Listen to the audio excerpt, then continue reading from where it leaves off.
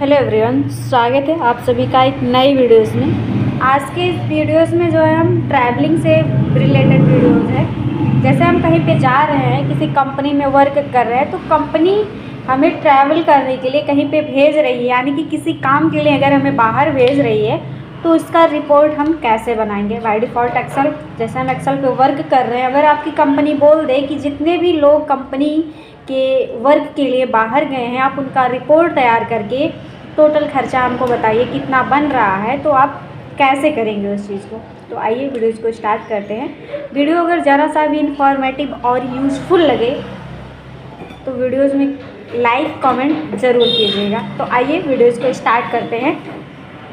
यहाँ पे मैंने कुछ डेटाज को फ़ीड कर लिया है, जैसे कि आप देख सकते हैं travel expenses report of November मैंने ये नवंबर का बना के रखा है। यहाँ पे मैंने सबसे पहले जो दिया है, ये दिया है मैंने आईडी नंबर आईडी नंबर इसलिए रखा जाता है क्योंकि एक कंपनी में हो सकता है दो नाम के, एक ही नाम के दो लोग या तीन लोग वर्क कर सकते हैं तो इस वजह से आईडी नंबर कंपलसरी होता है। दूसरा नेम है डेट ये डेट क्या बताता है कि किस डेट में वो कंपनी की तरफ़ से बाहर, यानी कि ट्रैवल के लिए, काम के लिए बाहर गए हैं कंपनी के काम के लिए, किस डेट में वो बाहर गए हैं? उसके बाद में आता है ट्रैवल पर्पस अगर वो गए हैं कंपनी के काम से बाहर तो किस पर्पज़ से गए हैं? ट्रैवलिंग प्लेस किस जगह पे गए हैं? सपोज़ दैट हम लोग जब जाते हैं कहीं पे तो कोई ना कोई प्लेस होती है। वैसे ट्रैवलिंग के लिए प्लेस होती है कि मतलब किस जगह जा रहे हैं? डे कितना दिन लगा? नाइट कितनी रात लगी? यानी कि कितना दिन लगा और कितनी रात लगी है? ट्रैवल कॉस्ट कितना खर्चा लगा? यानी कि जाने का कितना खर्चा लगा?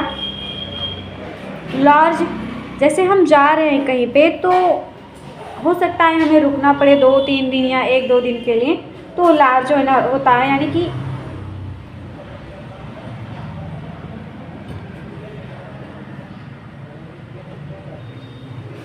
लार्ज होता है, यानी कि रुकने की जगह। जैसे रूम लेना पड़े हमें, ये सारी चीज़ें।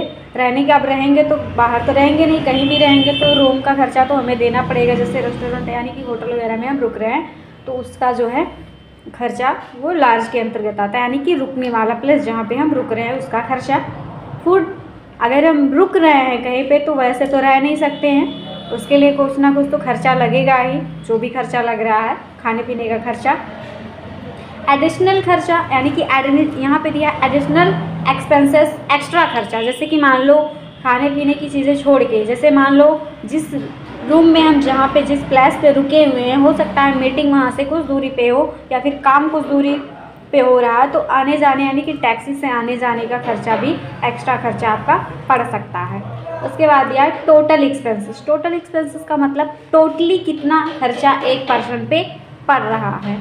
तो आइए हम सबसे पहले यहाँ पे आईडी नंबर ले ले रहे हैं। ज़ीरो एक ज़ीरो। और नेम ले ले रहे हैं। यहाँ पे हम जो है रोहित के नाम से।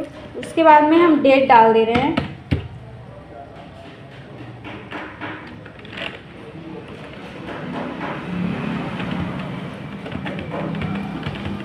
दो हज़ार तेईस। अभी आप देख सकते हैं कि ये डेट का फॉर्मेट छोटा पड़ रहा है तो ये बाहर निकल जा रहा है तो हम करेंगे क्या? यहीं पे आके डबल टैप कर देंगे, ये जो है हमारा आ जाएगा। सेट हो जाएगा। एक फॉर्मेट और है, यहाँ पे हम आएँगे जनरल में यहाँ पे आप देख सकते हैं टाइम एंड डेट का ऑप्शन दिया है तो यहाँ पे हम इस वैल्यू को सेट कर सकते हैं। यहाँ पे जैसे दिया है, अगर हम फिर से इस पर क्लिक कर देते हैं तो ये ज़ीरो वाली वैल्यू जो है हट जाएगी। जैसे हमने शायद पहले लगा दिया था।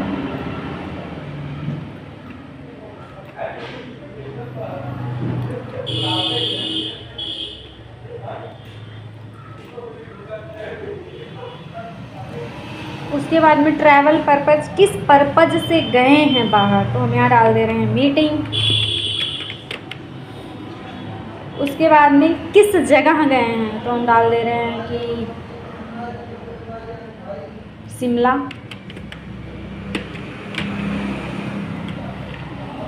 कितना दिन लगा? दो दिन लगा.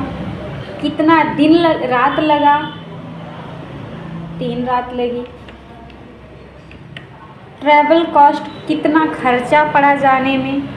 पंद्रह सौ रुपये हम डाल दे रहे हैं। आप अपने हिसाब से डाल सकते हैं। लॉर्ज जहाँ पर ठहरे हुए हैं, उसका कितना खर्चा पड़ा? तो हम यहाँ डाल दे रहे हैं। तीन हज़ार। तीन हज़ार के नीचे तो यहाँ इस टाइम में तो कोई रूम ही नहीं मिलने वाली है। फ़ूड खाने का कितना खर्चा लगा? हम डाल दे रहे हैं दो हज़ार। एडिशनल खर्चा, यानी कि मीटिंग के लिए जो कहीं पे हम गए हैं, एक्स्ट्रा खर्चा जो पड़ रहा है, वो कितना पड़ा हम एक हज़ार डाल दे रहे हैं। अब हम टोटल यानी कि यहाँ पे हम टोटल करेंगे कि टोटल खर्चा हमारा कितना पड़ रहा है। सिंपली करेंगे क्या? हम इक्वल लगाएँगे और यहाँ से यहाँ तक की वैल्यू को सिलेक्ट करके और अल्ट के साथ इक्वल प्रेस करके जोड़ देंगे या फिर यहाँ पे सीधे से करेंगे इक्वल और कर देंगे सम ब्रेकेट्स लगाएँगे। और यहाँ से यहाँ तक की रेंज को सिलेक्ट करेंगे और अल्ट के साथ इक्वल प्रेस कर देंगे। ये निकल के आ जाएगा सात हज़ार पाँच सौ। आप देख सकते हैं यहाँ पे जो है पाँच हज़ार बन जा रहा है, ये छः हज़ार हो जा रहा है और ये पंद्रह सौ तो ये हो जा रहा है। अब एक चीज़ हम और बता देते हैं। जैसे कि इसमें हम कुछ चीज़ें फ़ीड कर देते हैं। जैसे अलग अलग डेटाज हैं तो हम क्या करते हैं? कि इसको सिलेक्ट करके ये एम्प्लॉय से रिलेटेड है तो यहाँ पे हम मर्ज कर दे रहे हैं और यहाँ पे डाल दे रहे हैं एम्प्लॉय डेटा शॉर्ट फॉर्म में ई एम टी और यहाँ पे लिख दे रहे हैं डेटा उसके बाद में ये ट्रैवल पर्पज़ है तो यहाँ पे हम डाल दे रहे हैं ट्रैवल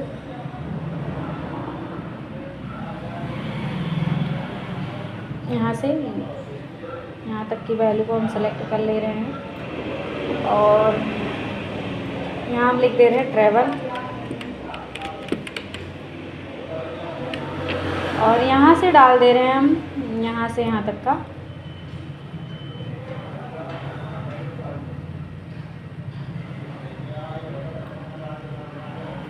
यहाँ से यहाँ डाल दे रहे हैं. स्टे पीरियड यानी कि रुकने वाला समय.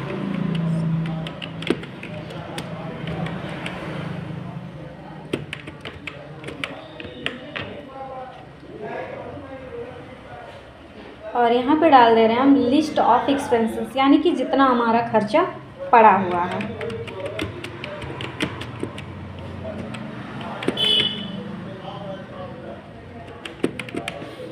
इसको हम क्या करेंगे? इसको सिलेक्ट करके यहाँ से किसी भी कलर्स में कर लेंगे, जो भी कलर्स हमको अच्छा लगेगा, आप देख सकते हैं। इसको हम यहाँ से दूसरे कलर्स में ऐड कर दे रहे हैं, आप अपने हिसाब से भी ऐड कर सकते हैं। हालाँकि हम इसको ग्रीन करना चाहिए था और इसको येलो तो हम इस पूरे रेंज को सेलेक्ट कर लेंगे। यहाँ से इसको सेलेक्ट करेंगे। और यहाँ की वैल्यू को हम कर देंगे येलो और यहाँ की वैल्यू को सिलेक्ट करके हम यहाँ पे फिर से कोई कलर दे दे रहे हैं। अपने हिसाब से आप देख सकते हैं। नहीं तो करना क्या है यहाँ से? हम कोई भी कलर दे देंगे इसको। यहाँ से दे रहे हैं। ब्लू इसको थोड़ा सा अगर इसका टेक्स्ट अगर मैं वाइट कर दूँ तो ये ज़्यादा बेटर लगेगा। आप देख सकते हैं इसमें अभी। थोड़ा सा हो नहीं रहा। आप देख सकते हैं इसमें थोड़ा सा अच्छे से पता चल रहा है। और सीधे से हम करेंगे क्या? इस डेटा रेंज को सिलेक्ट कर लेंगे। सिलेक्ट करने के बाद यहाँ से हम बॉर्डर्स दे देंगे ताकि ये थोड़ा सा इंट्रैक्टिव लगने लगे और भी अच्छा लगने लगे। और अगर आप इस डेटा शीट को कलर्स देना चाहते हो, यानी कि डिज़ाइन देना चाहते हो सिंपली अगर आपको ये डिज़ाइन अच्छा नहीं लग रहा है तो क्या करेंगे? इसको हम सेलेक्ट कर लेंगे पहली जितनी रेंज को हमारे पास रहेगा। उसके बाद यहाँ फॉर्मेट दिया है। फॉर्मेट में जैसे ही जाएँगे, जो भी हमें मतलब अच्छी लगेगी सीट उस पर क्लिक करेंगे और ऐसे बॉक्स हमें निकल के आएगा। अगर इस पर हम टिक नहीं करेंगे तो ये खाली इसी में लग के आएगा। अगर इस पर हम टिक कर देंगे तो ये पूरे सीट पे लग के आएगा। आप देख सकते हैं ये कितने अच्छे तरीके से निकल के आ गया है। अब हमें ये देख सकते हैं आप ये फ़िल्टर के जैसा निकल के आ रहा है। तो क्या करेंगे? हम यहाँ फ़िल्टर में आएँगे और ये हटा देंगे तो ये हट भी जाएगा। नहीं तो अगर आप यहाँ से क्लिक करके हटाना हटाना चाहते हैं तो बहुत ईजी तरीके से हट जाएगा। हटाना ही बना सेलेक्ट हटेगा।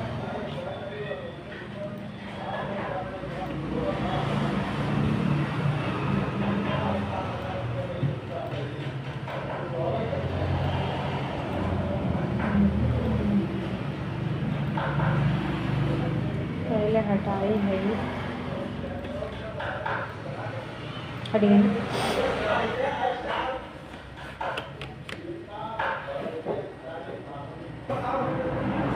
डेटा रेंज को सेलेक्ट कर लेना और फ़िल्टर वाले में चले जाके फ़िल्टर पे क्लिक कर देना। इसकी शॉर्टकट कीज़ भी होती है। यहाँ से अगर आप कर देते हैं तो ये प्रॉपर तरीके से हो जाएगा। हाँ एक चीज़ और।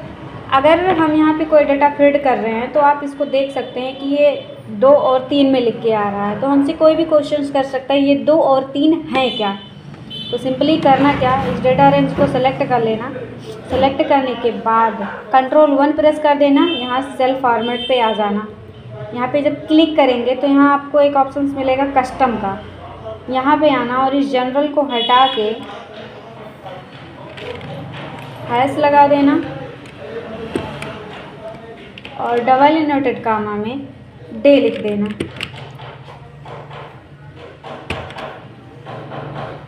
आप चाहो तो स्पेस वगैरह भी दे सकते हो। इसके बीच में अगर आप स्पेस देते हैं तो स्पेस लग के आएगा। हम स्पेस दे दे रहे हैं। आप इसका प्रीव्यू यहाँ पर देख सकते हैं। हम आपको जूम करके दिखा दे रहे हैं। आप इसका प्रीव्यू यहाँ पे देख सकते हैं। ये देखिए।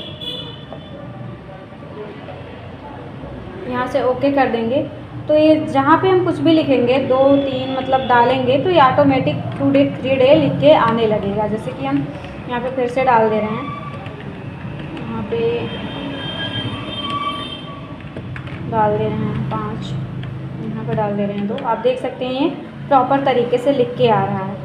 उसके बाद में हम जो ये लिखे हुए हैं अमाउंट इसको हम चाहते हैं कि ये रुपए में आए, यानी कि आपसे हो सकता है कोई कह भी दे कि ये क्या है?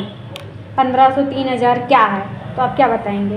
तो इसके लिए क्या करेंगे हम? डेटा रेंज को सिलेक्ट कर लेंगे। सेलेक्ट करने के बाद कंट्रोल वन या सेल फॉर्मेट में आएँगे। यहाँ आपको करेंसी का ऑप्शन दे रहा होगा। यहाँ डॉलर जहाँ दे रहा है, यहाँ पे आप देख सकते हैं सिंबल में जहाँ डॉलर दे रहा है, यहाँ पे आप जाके सर्च कर लीजिएगा, रुपए वाला ऑप्शन आपको यहाँ पे मिल जाएगा। रहता है।